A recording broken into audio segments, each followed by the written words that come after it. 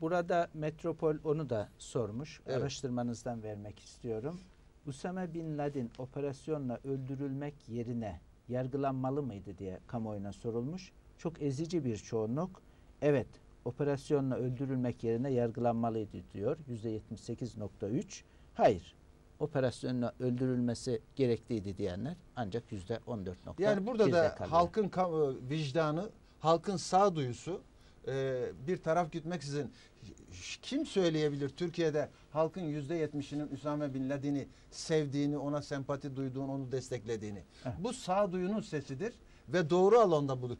Eminim önümüzdeki günlerde, önümüzdeki haftalarda bu silahsız olarak e, yakalanmış bir insanın katledilmesi, bu katildir. E, Amerika'da da yöneticilerin başına bela olacaktır.